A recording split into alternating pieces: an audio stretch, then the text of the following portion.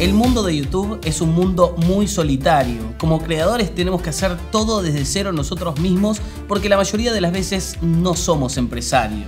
Somos simples mortales pero con muchas ganas de compartir historias. Por eso hoy vamos a ver diferentes formas, muchas formas de grabarte a vos mismo con lo que tengas en casa, diferentes composiciones, uso de la iluminación, de los colores, todo.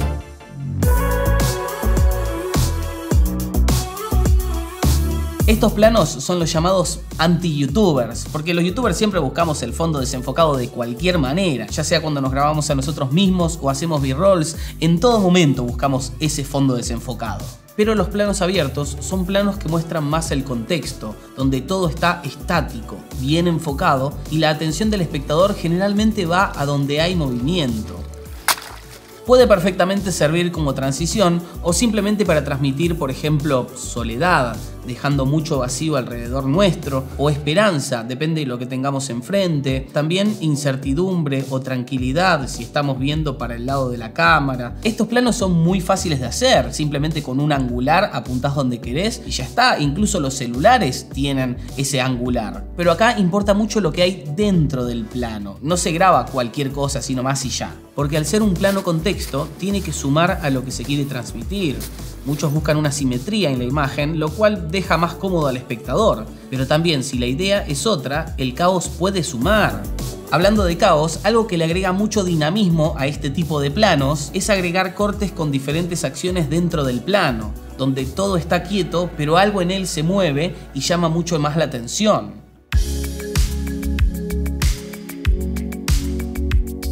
Los espejos o reflejos pueden llegar a ser un gran dolor de huevos si se encuentran en una posición que no favorece al plano, pero también pueden ser un muy buen recurso para grabarnos a nosotros mismos, porque el espejo refleja lo que tiene enfrente de manera invertida, lo cual puede ser una forma de transmitir lo opuesto a lo que se venía transmitiendo. También puede significar transparencia, porque cuando uno se ve en el espejo se ve a uno mismo, no trata de ocultar quién es.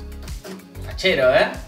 Fachera no. Estos planos son muy buenos para los que graban vlogs, que es donde se sabe que uno lleva una cámara todo el tiempo en la mano. Discúlpenme que estoy grabando en el baño, no hay otro lugar donde tenga un espejo. Eso sí, van a notar que los planos que les estoy mostrando consisten en una cámara estática, nada de movimientos suaves, ni zooms, ni nada por el estilo porque la realidad es que no hace falta que siempre haya movimiento en todo el plano, que el plano se esté moviendo constantemente como vemos hoy en día en todas las redes sociales. Yo también peco de agregar mucho movimiento, pero estoy volviendo a encontrar esa magia de los planos estáticos que tanto abunda en el cine y abundaban en los inicios de los vlogs en YouTube. Y más si la idea es grabarnos a nosotros mismos sin ayuda de nadie. O sea, ¿cómo podemos hacer un movimiento de cámara mientras nosotros tenemos que estar adelante de cámara? No tiene sentido. I fucking hate camera movement. Really? Sometimes it's necessary. So much fucking information in this shot. If the camera is moving, it's like, wow, let the action move, not the camera. Las figuras geométricas se encuentran en todos lados. Sin ir más lejos, la puerta por la que salís todos los días tiene una forma rectangular. Usar esas formas para encuadrar y encerrar al sujeto principal va a hacer que la atención esté ahí.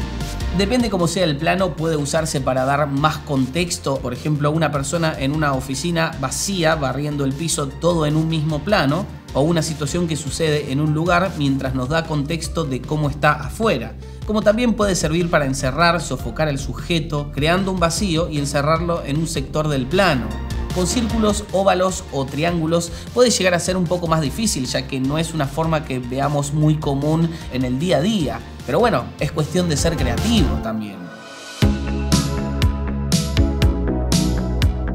Los ojos se dice que son la ventana del alma, todo lo que sentimos se puede ver a través de ellos. Y con un plano cerrado en los ojos podemos aislar la emoción de la persona sin tener que mostrar más del contexto. También fácil de hacer, todos estos planos son muy fáciles. Más teniendo en cuenta que no tenemos que expresar esa emoción con el cuerpo, que a veces puede ser difícil para el que no es actor. Podés estar triste o deprimido, trabajando intensamente, sorprendido por algo que viste, aburrido o con sueño, incluso contento o sonriente, que se va a notar perfectamente porque se achinan los ojos gracias a que se levantan los pómulos. Tenemos tantos músculos alrededor de los ojos que es muy fácil interpretar qué está sucediendo dentro nuestro. Y al ser una toma cerradísima, se acentúa más esa emoción, pasa a un primer plano.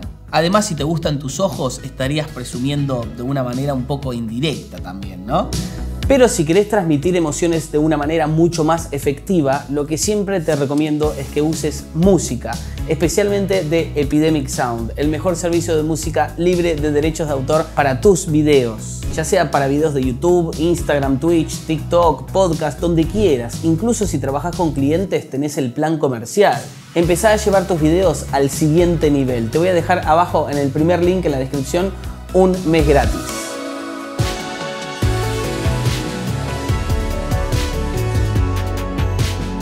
Contraluz es un recurso bastante cinematográfico, como le dicen acá en YouTube, y es relativamente fácil de hacer. Solo hay que grabar directamente hacia una fuente de luz fuerte y ponernos en el medio generando siluetas al no tener luz que nos dé de un lado. Y la fuente de luz más fuerte que tenemos en la naturaleza es el sol, y el atardecer o amanecer se encuentra al costado, por lo que es mucho más fácil generar ese contraluz hermoso. También podemos usar ventanas con la luz del día como fuente de luz, teniendo todo apagado en interiores. Y podés simplemente estar mirando hacia la luz como signo de esperanza o expectación, felicidad o liberación, o simplemente podés estar haciendo una actividad la cual ya por la silueta se entiende perfectamente.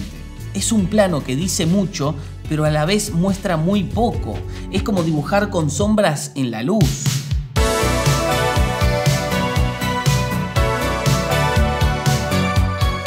Las tomas cenitales o aéreas tal vez no son muy fáciles de realizar, pero cuando se logran queda un resultado excelente porque al estar desde arriba podemos tener una visión mucho más amplia de la escena, agregando contexto o para enfatizar la pequeñez de los sujetos en el entorno. Claramente, como dije, no es algo fácil de hacer. Necesitas un dron si querés tomas aéreas, o un trípode alto, o alguna manera de colgar tu cámara en el techo o paredes. Yo usé en varias tomas una cámara que tiene un imán y la enganché en estas vigas que tenemos por todo el estudio. Cada plano o recurso puede servir para acompañar una emoción o tal vez servir como lenguaje audiovisual. Creo que hay que aprender a soltar un poco los zooms o las tomas con movimientos estabilizados constantes, ya que estamos abusando mucho de esos recursos en las redes sociales. El equilibrio es la clave, tal vez volver a las raíces y ver cómo lo hicieron los que están allá arriba puede darnos una visión diferente de las cosas. Déjame en los comentarios si querés más videos así, mostrando diferentes planos para poder acompañar tu historia, porque hay millones de maneras de poder contar algo, de transmitir un mensaje. Y te voy a dejar por acá a mis costados más videos para que puedas seguir viendo más contenido. Chicos, les mando un beso enorme y nos vemos en el próximo video.